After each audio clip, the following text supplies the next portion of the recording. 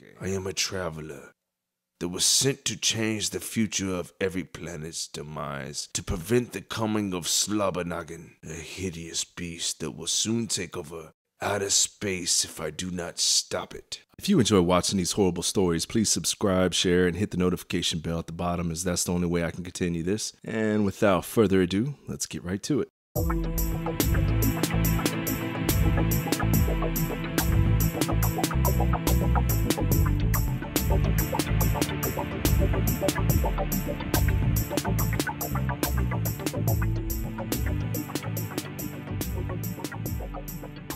Captain Fizz Log 00000001. It's been nearly three days of eating flamenon and drinking pea water from a homeless buckaloo's teats. I have managed to find my missing pilot. She was a beast with big,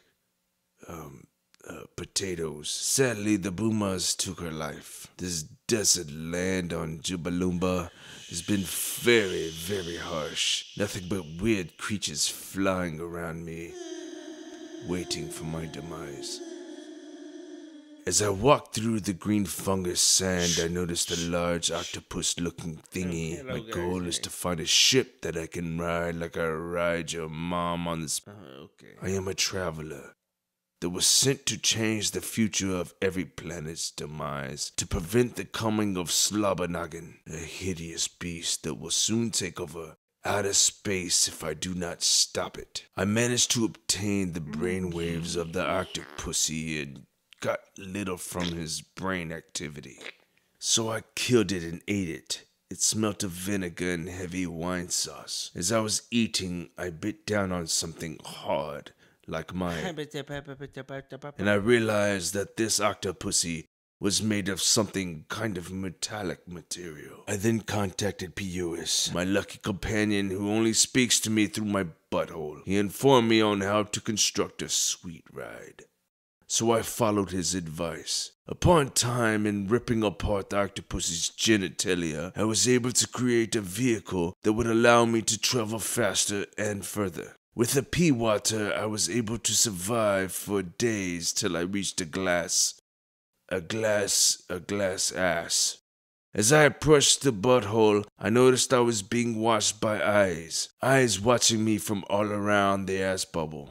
I felt no threat and knocked on what looked like a wart on the ass bubble. Upon doing so, a guy answered and he looked really weird, but okay. He asked me what I was doing in such a disgusting planet as this, in which I replied, I crashed here and am looking for a ride off this planet. As he opened what looked like the butthole of this ass bubble, I entered. He kind of creeped me out. But you know, I need to leave this planet soon, so I took it like a champ. As I asked this fancy man where his leader is, and he replied, Over there, in that building that looks like a huge cucumber. I made my descent into the unknown. I noticed the guy sniffing me. Yeah, mm, you smell good. Is that I ignored his advances, as I am turbulent and only smash hot chicks. As I approached the cucumber, I allowed the creepy dude to watch my amazing vehicle while I talked with his superior. I approached the door. As placed my finger on the pad, a voice answered, a, a, a beautiful voice, almost like a chimpanzee in the wilderness of Benegabuli. An image appeared on the screen in front of me, a beautiful creature that probably smells like sweet jelly. Oh, uh, hello.